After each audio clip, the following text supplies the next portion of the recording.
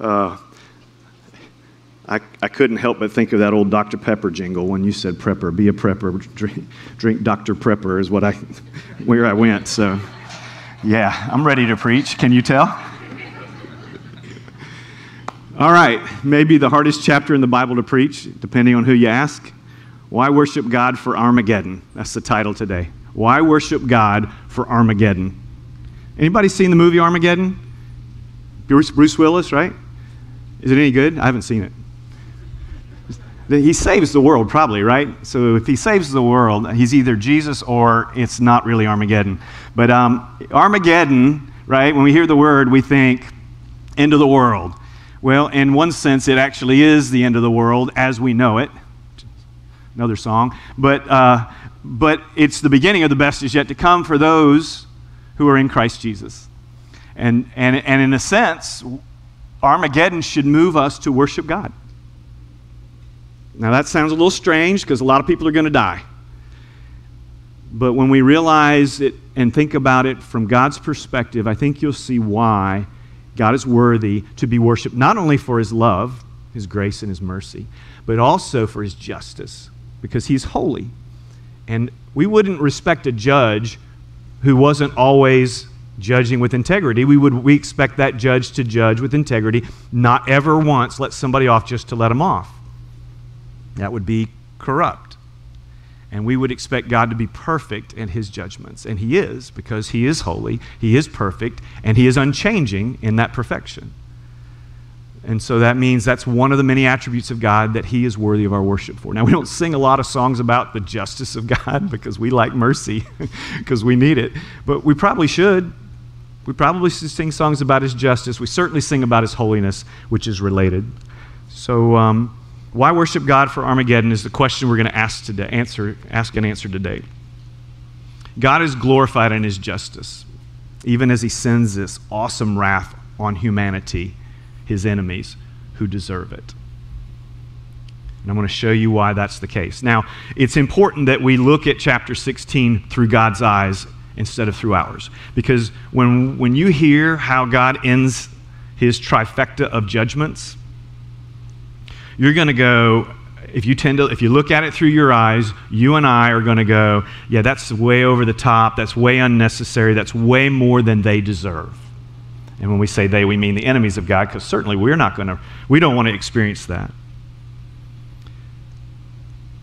But when you look at it through God's eyes, it, it seems not only appropriate, but absolutely necessary. So I want you to just kind of walk with me through this little thought process here. So, God is love, and God creates because that's one of the things that love does. And so God said, I want to create the universe, and I want to create a world in that universe with people on it. And I want to give those people who are not in existence yet, I want to bring them into existence to live on that planet and to know me and be known by me personally. I want to have a relationship with them. I want to know them, and I want them to know me. But I, I, I can't make robots. I don't want to make them love me. So I want to give them a choice. So I'm going to create a great world. Call it the pleasure globe. I don't know. But anyway, they, this world where everything is beautiful, everything they need is provided for them, and I'm just going to give them the job to just be fruitful and multiply, which sounds awesome. I'll give them one rule though um, don't don't eat the fruit from that one tree because there's millions of trees to choose from with a huge diversity of fruit. So you just don't eat from this one tree. Trust me in this. Okay? Trust me that this is good and wise because after all, I created you and I love you and I'm going to walk with you in the, in, the, in the evening and we're going to talk face to face and you can ask me anything you want. Like, why don't we have belly buttons? Adam and Eve, right? Like, oh, yeah, they wouldn't have. And then Adam says, What's a belly button? But anyway, so they're asking God just whatever questions come to mind, like, um, What's an owl? And why does this one talk? Or, you know, just they could ask him anything. Can you imagine being so just with God and, and that there's just no barrier? There's no disrupt. It's just like just clarity and you live in a world and, it, and it's you and her and you're going to start a family and, and, the, and you're going to populate the world and it's going to be glorious. And then someone else shows up and says, Did God really say? And causes them to doubt the words of their Creator. To doubt the words enough to actually disobey the one rule. And of course, the consequences immediately kick in because, like the laws of physics, the laws, spiritual laws that God has created, they are unchanging. And so that happens. Now, what does God do in response to that? You would think, well, he could shut them down in a heartbeat. He could end this whole thing and wad it up, throw it in the trash can, and start over if he wanted to. But he doesn't do that. What he does is an act of justice, but also an act of mercy. And God likes to do the two together. We like to say it's justice or mercy. He likes to make a way for both to be possible. And he does that is he removes them from the Garden of Eden, Adam and Eve, puts a guard with a sword on fire at the gate. That does two things. One is it takes them out of Eden, but it also keeps them away from the tree of life. And if they were to eat from the tree of life, they would live forever in their eternal separation from God's state okay, which Jesus calls ultimately hell. Okay, but eternally separated from God. God protects them from that so that they have a chance to repent and believe, so that they have a chance to be reconciled to Him. So God's grace. What, how does humanity respond to that act of mercy and grace? We crucify Him on a cross and he yet he sent that son to die on the cross for our sins so that once again we could be reconciled to him by praying and asking for his forgiveness and believing that jesus made that possible. And what do we do as a result of that? We live as if it doesn't matter. We live as if jesus dying on the cross was no big deal and we just go on about our lives as if we're the one on the throne instead of him. So take that and, and, and insert that into your story. Make your part of that story. And imagine how many times a day you sin without a thought about the cross, without a thought about the consequences. That's more than you want to know. Now, let's think about how many times in a lifetime we do that, because you take that and multiply it times 365 days a year, times however many years you live, say 80. That's a lot of sin now take that and multiply it times 8 billion people on the planet. About right now, we're close to 8 billion. That's a lot. And then you've got to go in history, and there's billions of people that have been and have gone. Same thing. And I'm not even talking about the ones ahead. And all of a sudden, you can start to see from God's perspective why He might be more than a little bit ticked off about it. Because He's holy and He hates sin. And to be just, he must punish sin. Now, he punished sins of the world on the cross when he punished Jesus. He poured out wrath there. But the consequences of our pushing him back and stiff arming him and rebelling against God, well, there are consequences. And if we choose not to trust him and follow him, we will receive those consequences. All our lives, if you look through history and our, and our lives and even before, you can see through history how God has used evil to judge evil. He doesn't create evil, evil. He's not the author of evil. He's not the source of evil. But He created a world so that we could choose to trust and follow Him or not. So that we wouldn't be puppets, marionette puppets on strings, that we wouldn't be robots who have to love the Lord, oh God, because that is how I'm programmed. We don't have to do that. And so he, he's grieved over that. So when we read about these seven bowls, which are the last seven judgments of God. We had the first seven seals of God, starting in chapter 6 of Revelation, and then we had the seven trumpets, and now we have the seven bowls. And he's going to finish, and he will be done judging the world forever. We're a day closer to that day happening than we were yesterday. That's God's providential will. That will happen. It's coming. It's appointed. It's ordained. It's just a matter of when. Okay? And it appears to be at the end of this seven years that Revelation talks about, whether it's a literal seven or a figurative seven, doesn't matter. At the end of that, the judgments will be done. And then there'll be the Bema seat, which is the first judgment of God, where he, um, where he actually judges his people. And then later comes the great white throne, which is where he judges and separates all. I may have that backwards, but I think that's right. So as we read through this, I want you to remember we're looking at this to, to take away God is glorified and worthy to be praised for his holy, divine justice and wrath, which is played out in many ways, and then Armageddon is part of that. It's not all of it. Okay?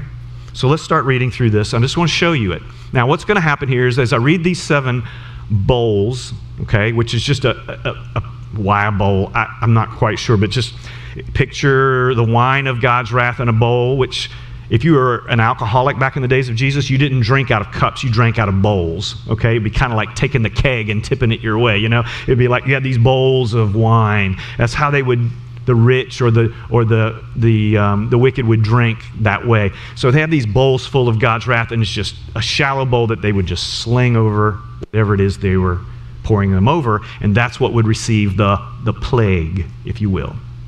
So, with that, let's jump in and let me show you where I'm getting all of this. Starting in verse 1, I'm just going to read through the chapter and I'm going to make it as I as I get to a bowl, I'm going to tell you I'm going to read to you, it's going to tell you the place, it's going to tell you the punishment or the plague, and then in some cases it's going to tell you a promise or a perversion. Okay, so in the first 3, you're also going to see the response of the righteous and in the last 4 you're going to see the response of the wicked. And just note the contrast. And that's going to give us the reasons why pray why do we praise God for Armageddon? Why do we praise God for his justice? For those two reasons. Th- those responses will tell us, and I'll, I'll explain that when we get to it. So, verse 1. Now, remember, John is writing this down.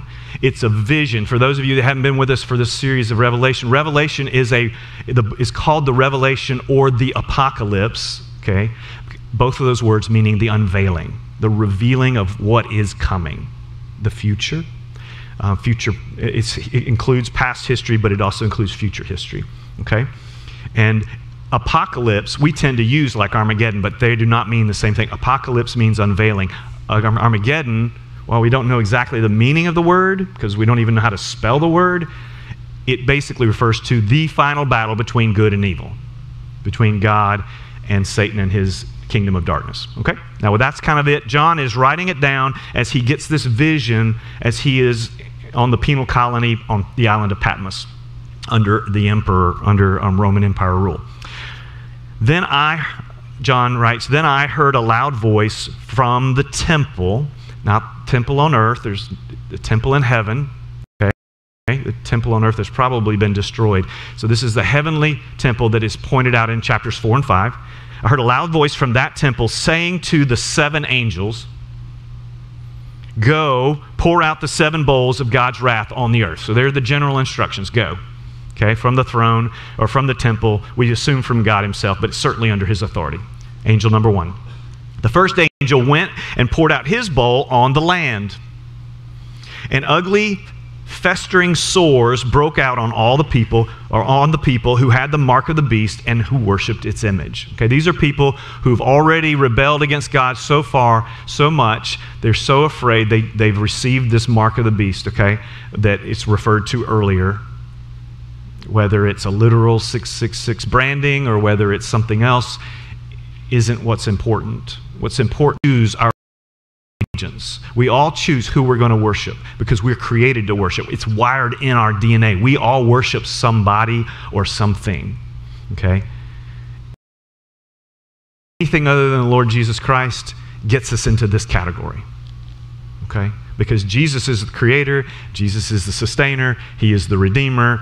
It's all about Him. And that's why when we go back to uh, chapter 11, Verse 15 The seventh angel sounded his trumpet, and there were loud voices in heaven which said, and this is kind of the, the precipice of the mountain that is Revelation. The kingdom of the world has become the kingdom of the Lord God and the Messiah, and he shall reign forever and ever. The Messiah being Jesus. Okay? So, First angel, string sores, broke out on the people who had the mark of the beast and worshiped its image. I don't know if you've ever had a, a, a, a well, even just a canker sore in your, in your, in your mouth or a, a boil or any kind of painful sore. You just like, it's just, they're painful. And imagine all over your body and you can't do anything about it.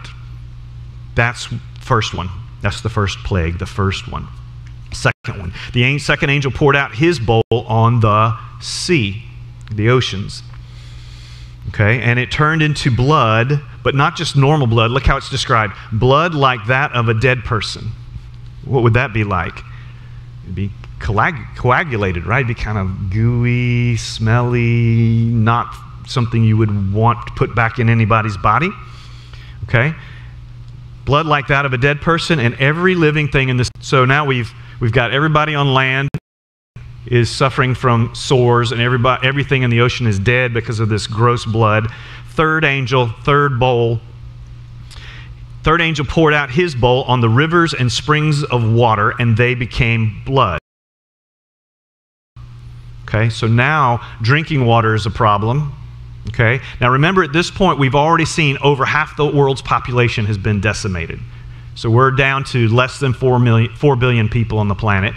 If the church has already been raptured, either mid or, pre trib, which, you know, some people believe that, I'm, I'm good with that, um, they're all gone, which could be, you know, by the most optimistic numbers, that's 3 billion. Realistically, it's probably more like a billion or less. Um, so the only people left are st- most of those folks are in the category of I've already taken the mark of the beast or I haven't decided yet. And then there's probably a few that have come to know the Lord in, since then, so you have a few Christians that are around. So the third angel then says something. Now, this is why, this is one of the reasons why we worship God for something like Armageddon.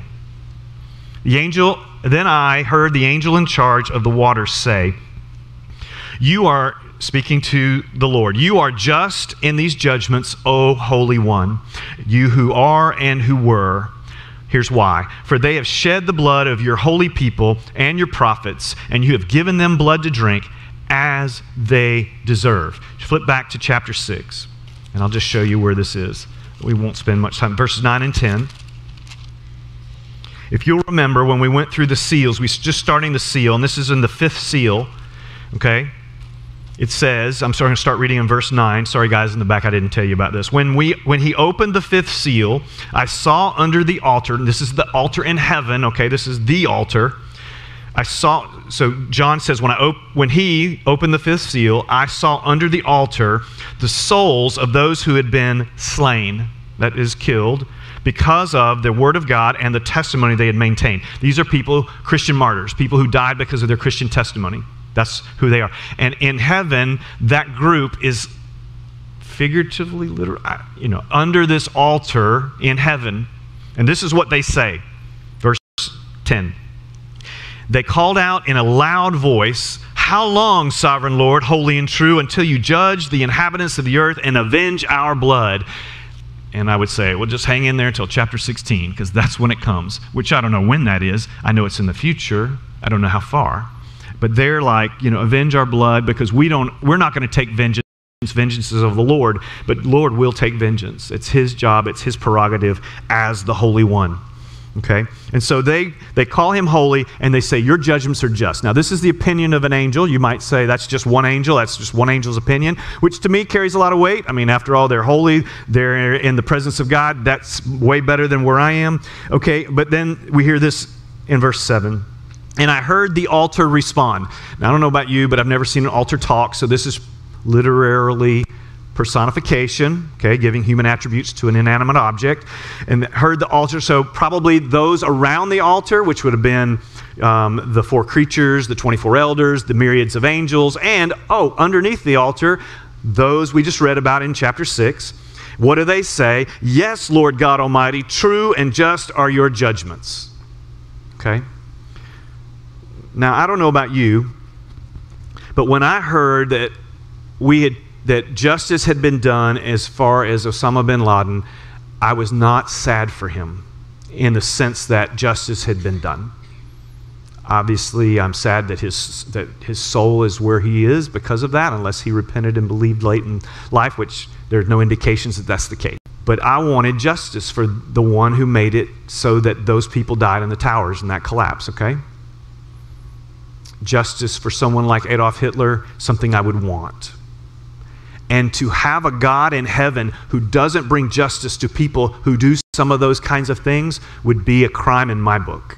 And so I I am grateful that we have a God who believes and, and who is just because he is holy in, in the way he carries himself. That he doesn't practice inconsistent or unfair judgments. Okay? Heaven is testifying that his judgments are good. From God's perspective, these judgments, as horrific as they sound, are actually appropriate, which should tell us how wretched and wicked it is to reject your Creator. Okay? And yet, all of us know people who don't know the Lord.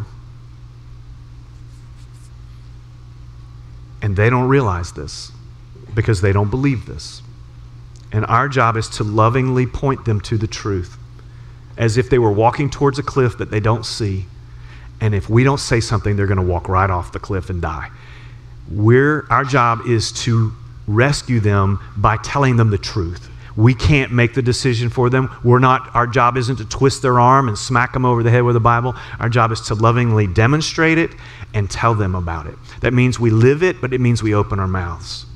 Okay? And we're motivated by love. Now, that's part of the answer to the question why worship God for Armageddon is because He will carry out justice where it's appropriate, where it's deserved. These, uh, some of these wicked folks are folks who killed people simply because they believed Jesus is the Messiah. You realize that in the 20th century, more Christians died for their faith than in the previous 19 centuries combined. So we read about you know Christians being fed to the lions and and uh, in in the days of Rome, but it's only gotten worse, and the 21st century isn't any better. People dying because they believe in Jesus, because they won't say no. Think of 1999 in America. Cassie Bernall in Columbine High School, and Eric Dillon's got a gun pointed at her face, and he says, Do you believe in God? And she says yes, and he pulls the trigger. She was faithful. She, was, she became a Christian martyr. She was a witness for life. Okay? And the question that I have for me and you is would, would we say yes? Would we truly stand firm in the face of that because we believe the best is yet to come? Or are we so afraid of losing this life because we don't really believe in the next that we would compromise? We don't know. But the hint what you would do in that split second is seen in how you live the life. If you live a life where the pattern of your life is, I want to be faithful and I'm going to walk in, in consistency with God, then you're probably going to say the right thing at the right time, or you're going to probably be faithful to the end. And if your pattern of your life is inconsistency, then it's a roll of the dice. And if your pattern is not to follow the Lord in the life, then why would you follow him in death? You've got your answer. So there's some, think about that. Think about where you are. Think about how you think about these kinds of things. It's sobering which is why this is such a hard chapter. Verse 8 is the fourth angel. Now, the response to the first three, we saw the response of the righteous, and that is, You are holy and just in, in all your ways, God. Now, let's see how the, the wicked respond to these judgments, and let's see what the next four are. The fourth angel poured out his bowl on the sun, and the sun was allowed to scorch people with fire. I don't think copper Coppertone's going to help you here. This is some serious sun power and it says they were seared by the intense heat and they cursed the name of God and had control who had control over these plagues, but they refused to repent and glorify him. So there's the response of the wicked round 1. Even though God wants them to to be mo- sobered, okay? I'm your creator and I'm sending these judgments because I want you to repent and believe and trust me because I want to rescue you, but yet I'm not going to force myself on you and they choose to rebel. And they choose to continue to rebel and, re- and just say, No, I refuse to repent. You and I know people like that. But that doesn't mean that that can't change. Let's not believe there's no hope. As long as there's blood pumping through their veins, or is it arteries, or both, that, right? that there's a, there's a hope. There's hope that they can come to know the Lord. God is all the way up to the last wrath, continuing to invite them to turn to Him because He wants no one to perish, but He will allow you to choose to not be with Him forever. Okay? Jesus talked a lot about hell, more than heaven. And it's because he understood that hell is a real thing that we must weigh in the balance when we think about life, death, and, and, the, etern- and the afterlife, the etern- eternity. Verse 10 The fifth angel poured out his bowl on the throne of the beast. Now we're getting right to the epicenter of all this evil, right? Okay, so remember there's the dragon, the beast, and the second beast, which is also called the false prophet. The dragon is Satan. The first beast, or the beast from the land, is the Antichrist, not an Antichrist, but the Antichrist in the seven years. And then the false prophet, the second beast, is the false prophet. The Antichrist is the one who creates the one world religion. The the false prophet is the one who creates the one world reli- I'm sorry, one world government, Antichrist, one world religion, false prophet, and all inspired by Satan and his his uh, as he's the one inspiring that in them and using them and manipulating them to that. We call that the unholy trinity, and you're going to see what they do here in a minute to influence the leaders of our world. Look at how uh, what happens. Uh, he pours the bowl on the throne of the beast, which, by the way, we don't know exactly where it is. Um, it could have been at this. It could be at Babylon, which um, it could be symbolic. It could also be in Pergamum, which in early chapter of Revelation, that's where Satan lived. God says he lives in your city. Can you imagine being a church and Satan lives in your city? You see, Satan doesn't live everywhere because Satan is not a god. He is an angel. He's a fallen angel, which is what we call demons. He's just a special one. Um, okay, because when he led a third of the angels to rebel in heaven, God cast them out for their rebellion. Those, what we know as demons, are fallen angels. Okay, they are real, just as real as angels are. We just can't see them because they live in a dimension that we're not able to see into yet. Okay, I think we will one day. On the other side, we'll get to see. Well, it'll be amazing what we're going to get to see. But that's they have influence in our world and power in our world, and that's why there's evil in our world because they're the ones stirring it up and wreaking havoc. That's part of that. Okay. Throne of the beast, its kingdom was plunged into darkness. Okay? This this, like several of these, refer back to or remind us of the plagues in Egypt when Moses was there saying, Let my people go to Pharaoh, and God was sending the plagues because Pharaoh kept saying no. No. And one of those was that he made things dark for Egypt. What was interesting is that God made the plague so that only the Egyptians were in total darkness. Okay? It means you, you can try to light a match or candle, it's not going to happen. It's pitch dark. But Israel was still in the normal cycle of day and night. They were unaffected. And I think that's the case for um, those who are here. They're going to experience the darkness. Now, I don't know this, but there's a good chance that those Christians that are still here are not going to suffer from the wrath of this, because God tells us that we won't in 1 Thessalonians 5. But it doesn't mean they're not affected by it, but they're not going to reap the, the wrath. Okay? So if you have great great grandchildren, or if you and I are still here when this all goes down, and it goes dark for them for three days, or not three days, that was the Exodus version. There's no end to this darkness for them. And we're like, oh, it looks good to me maybe this is what it is. This is how they responded. People gnawed their tongues in agony and cursed the God of heaven because of their pains and their sores. They're still covered with sores, they're still seared from the sun, but they refused to repent of what they had done. The, impl- the implication here is they get out of this, and they're not doing it. That's pride. That's, that's why people don't trust and follow God. Pride. I know better, or I want to be in charge. And, and that's just, that's hard. That's hard to help somebody see because pride blinds. The sixth angel, verse 12, poured out his bowl on the great river Euphrates and its water was dried up to prepare the way for the kings from the east. Now, if you go today to, I don't know if it's in Iraq or Iran, I think it's in Iraq, the river Euphrates, maybe it's on the border. it's a massive river there. He's going to dry it up. Now, it's interesting. God is drying the river up. That's one of the bowls. It seems odd, like an odd plague. It doesn't seem to hurt anybody.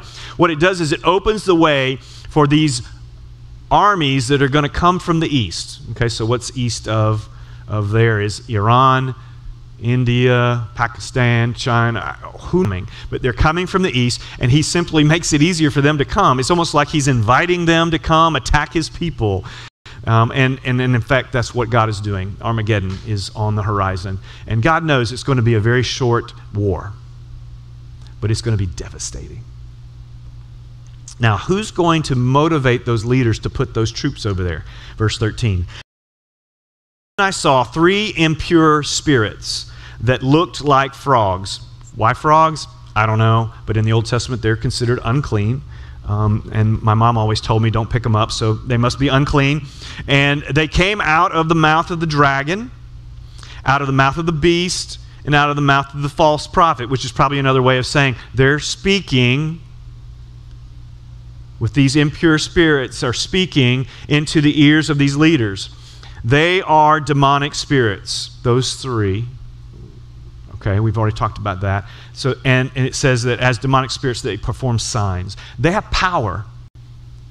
Evil power is real. Okay, it comes through Satan and his legions, his hordes of demons. Okay, and that is not the reason for all the evil in our world. It's part of the reason. Okay, there's three, really three sources of evil, of temp, evil temptation: Satan and his legions, our human, our flesh, our humanness, our carnal nature, which is the sinful nature that we're born into the world with, and then the worldly philosophies. The, the philosophies of this world are also influenced. And those are the three ways. And so, trying to resist temptation and evil, those are the three categories that it comes at us um, in. All right, so then he says, um, that they, the demonics, they perform signs, and they go out to the kings of the whole world, here is where they're doing it, to gather them for the battle on the great day of God Almighty. The great day of sometimes of the Lord, the day of the Lord, it's the day of judgment, it's Armageddon. And I'm just going to skip 15 for a second. Then they gathered the kings together to the place that in Hebrew is called Armageddon or Armageddon. Okay? Um, I could tell you all the speculations about what that means and where that's it, where that's it is, I think, at the end of the day, it's happening in the Middle East, it's happening near wherever God's people are, and they're not going to have to lift a thumb to fight the battle, even though they'll probably be ready to do it. They'll probably be a little disappointed, even. Okay, verse 15. Now, this is um, in my Bible, it's printed in red, okay? The original scriptures are not printed in red and black. They're just black or whatever color ink they had on hand. Uh, but this means, if you have a red letter Bible, it means that the, the translators believe that there's a high likelihood that this is spoken by Jesus, okay? Just remember, that's like these headings on your chapters. That's not scripture, that's something an editor added. Um, so just keep that in mind. But it appears from context that when it says, Look, I come like a thief, blessed is the one who stays awake and remains clothed so as not to go naked and be shamefully exposed, is the words from Jesus. Okay? And um, the reason we say that is because Jesus has come and he said, I'm coming again. Okay? We have the first coming of Christ, the first advent. We celebrate Christmas at the birth of the, of the Savior. Okay?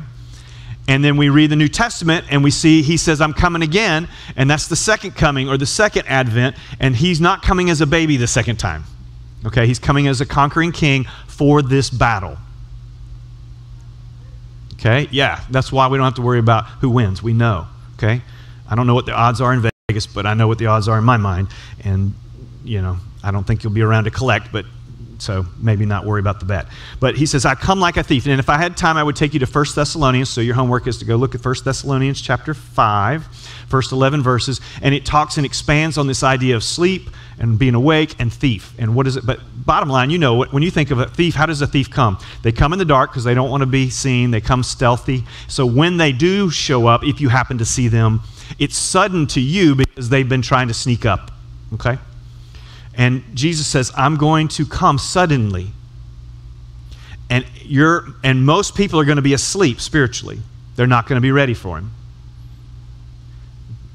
And he, so that's why he says, stay awake. And at other places in Scripture, we say, wake up, stay awake, be alert, watch out. All these are words that Jesus used and other people in Scripture use in the New Testament to say, spiritually, you need to be awake so that you won't be surprised when he shows up because you will have already trusted in him and you're walking in his ways. And so not only will you not be surprised, but you'll be ready and you'll actually be excited about it. You'll be glad he's showing up because things will probably be pretty bad by then, as if they weren't now. Okay? This is a beatitude also. You know how in Matthew 5, blessed are the peacemakers, blessed are those who mourn, da, da, da, through the beginning of the Sermon on the Mount? There's 12 of those in the book of Revelation. This is the third. So, blessed is the one, the person, who stays awake, a spiritual awake and remains clothed. This sounds strange, right? Uh, remains clothed so as not to go naked and be shamefully exposed. Yeah, we want to. We are all dressed. We're fortunately we're all in order here. Thank you very much for being clothed when you came. This is talking about imagery, and if we were to go back and take the time to look at Laodicea in chapter three, you would see that one of the descriptions that Jesus uses to describe the people in the church in Laodicea is blind and uh, other things, but also naked. And what he's talking about here is they're not wearing their robes of righteousness, I think. They are not clothed in Christ. Okay? So, remember Adam and Eve in the garden? When they ate of the fruit, what happened?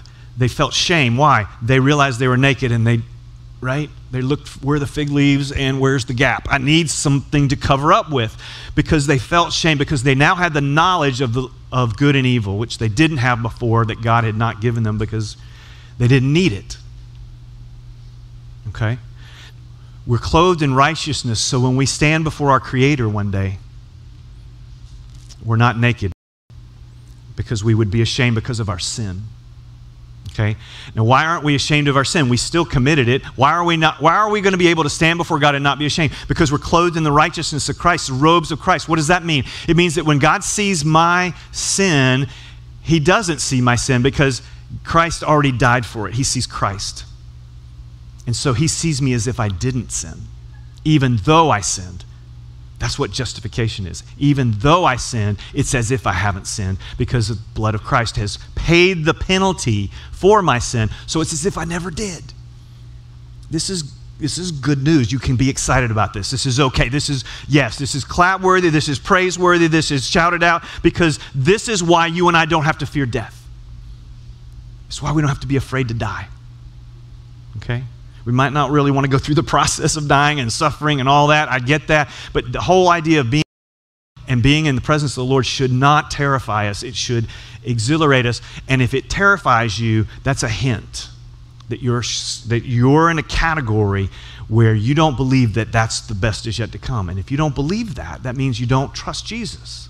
Now, that may not be actually absolutely true for every single person, but that should be a huge warning flag if you are, are terrified of dying, the, not the process, but being gone because you don't know what awaits, it means you probably don't believe what awaits because you don't know. And so, what, when, when we don't know the future, that makes us anxious. Trust Him. Verse 17 The seventh angel poured out his bowl into the air and out of the temple came a loud voice from the throne. So this isn't just from the temple, this is from the throne. And if I remember right in 4 and 5, chapters 4 and 5, God throne, Jesus, the Lamb of God, who was slain but is upright and alive, which pictures the cross and the resurrection, are both one's in the throne, one's at the right hand of the throne. So I don't know if it means one, both. I'm going to go with God the Father since he's sitting. He says in a loud voice, so it's authoritative from himself from the throne saying, It's done. Now, where have we heard that before? The cross. John 19 30.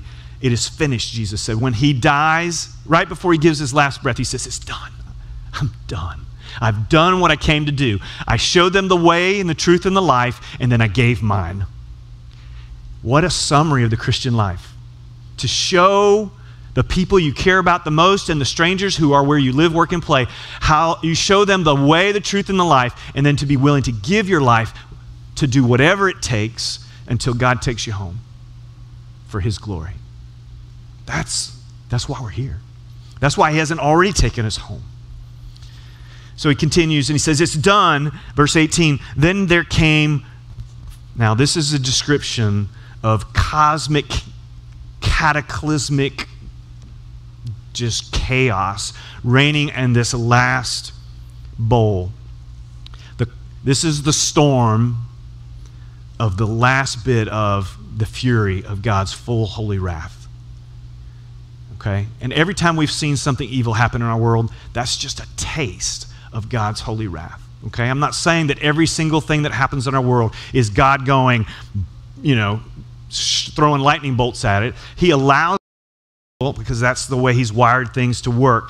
But these are intentional, sovereign decisions and proclamations and commands that he's making. We see these are coming from the throne. God is taking full credit for this judgment. Why? Because, again, he's worthy to be worshiped because he's holy and he is giving people what they deserve. Simply that, which tells you how horrific it is. It's done. Then there came flashes of lightning, rumblings, peals of thunder, and a severe earthquake. No earthquake like it has ever occurred since mankind was been on the earth. So tremendous was the quake. The great city, I think Babylon, split into three parts, and the cities of the nations collapsed. And I just want to keep reading, and then I went, whoa, whoa, whoa. The cities of the nations collapsed. It doesn't say all, but it doesn't make any exceptions either. The cities of the world. You know, we've heard, you know, he, Gene referred to Lisbon as being a city that had collapsed because of an earthquake. This is every city. That's the earthquake. That's the scope. It's, it's just not even in the same ballpark from what we've experienced or seen or heard of. God is going to shake the whole world in such a way undeniable who's in charge. Okay? And the only ones that aren't freaking out are those who are in Christ. Although I might be freaking out. I don't know. I'm hoping I'm not here, but you never know. Okay? But to know that that means the end is nigh, that it is, I'm about to see my Redeemer, come, come, Lord, quickly. God, okay, so the cities of the nations collapsed. God remembered Babylon the Great and gave her the cup filled with the wine of the fury of his wrath. I mean, it's so straightforward, right? It's, it's just, there it is. Verse 20. Every, this is even more dramatic. Every island fled away, and the mountains could not be found. We're talking about the change in our geomorphology and our top- topography. Mountains are sinking, and islands are disappearing. It's just the whole earth. It's kind of the scale of Y'all ever remember in, I don't know if it was in geography, uh, when we would study Pangea, when they, they theorized that the whole, all the land masses at one point were all squished together, and that when something caused them to all, maybe like a worldwide flood, just throwing that in there. But, um, you know, and so that scale. Okay? Verse 21. From the sky, huge hailstones each weighing about a hundred pounds, not two pounds, fell on people. It made me think of the time, you know, and if you read um, in the days of Jesus when they would execute somebody, they would stone them, which means they didn't give them a joint and say, you know, go stand in a corner. They threw rocks. And, and they didn't throw these little tiny rocks, they threw big rocks like the biggest rock they could pick up, and they would throw rocks at somebody until they died. Sometimes they would push them off a cliff and then throw the rocks. Sometimes they'd just start throwing rocks, put them, pick, pin them in a corner, or, or and they, that was, and it was your peers doing it, so it was, it was grievous, not to mention painful. Now, hundred pound chunks of ice falling from the sky, raining down. No and this is how they responded. And they cursed God on account of the plague of hail because the plague was so terrible. I can understand them being upset, except the fact that if they knew they could repent and believe, they could avoid it. The pride of the human heart is potent. And the only way to have to find peace in Christ is to humble yourself and to seek him and to say, I need you because you're holy and I'm not. And so I need you to make it so that I can come to you. Because I, and, and God says, You don't have to come to me. I'm, I've already come to you in the form of Jesus. You just trust me, and I'll take care of the rest. And that's why we can say the best is yet to come, because this isn't the end. Armageddon isn't the end of my life, it's the beginning of life in Christ without suffering and sin and death and shame and all the other garbage that we have in our world because they're consequences of sin. That's why it's called good news. Trust Christ. Have you done that? Have you trusted Christ? Why worship God for Armageddon? For, for the righteous justice that is deserved and for our sanctification. Think about the Christians that are there during this time. Do you think that might help your prayer life a little bit? You think it might cause you to get more um, appropriately engaged with the Lord? That's called sanctification. That's the process of becoming more and more like Jesus. So these judgments have a refining process on his followers, those who are still there, and it is justice for those who are not, with an attempt to move them to repent and believe and not have to be receiving that. This is hard, but it's the Bible. And the Bible says about itself in 2 Timothy 3:16, all scripture is God-breathed and profitable for teaching, rebuking, correcting, and training in righteousness. Okay, so that's why I believe it's good and I believe it's trustworthy. And it's why I'm sharing this terrifying news with you because I believe there are people in this room and I believe there are people on that on the other side of that screen that don't know the Lord and needed to hear this today. So let me pray for you. Lord God, as, as I think about this sobering passage of Scripture that talks about the future history that's coming, I'm grateful that you saved me. I didn't deserve it. There's nothing I've done to earn that. And as soon as I think there is, I'm in trouble. No. It was by your grace that I was able to humble myself and come to you and say, I need you. And most of us in this room can say something along those lines. But there are those that are here today and watching online that know that's not true for them. Right now, they feel you're, you're, you're drawing, they feel conviction for their sin, but they feel you're drawing. Your desire for them is life, abundant and eternal. But Lord, you're not going to force them. And we're not going to try to talk them into it. We're going to pray that your Spirit would make it possible for them to overcome the pride and to humbly approach their Creator on His terms. And to believe that that's the way to true life, just as Jesus said. And so, Lord, I pray um, for those who don't know you that they would come to know you. Lord, for those who know you and that are in this place, may we be sobered by this and recognize that people we know, lots of people we know, this is their future unless we get busy humbly sharing the truth of what's coming. You're coming like a thief, and it's going to surprise most of the world. It's going to be sudden. And they're spiritually asleep unless we give them the grace of God and show them how they. Give us a heart of compassion for other people that goes beyond the surface to the heart matter matter of the heart. It's in Christ's name we pray. Amen.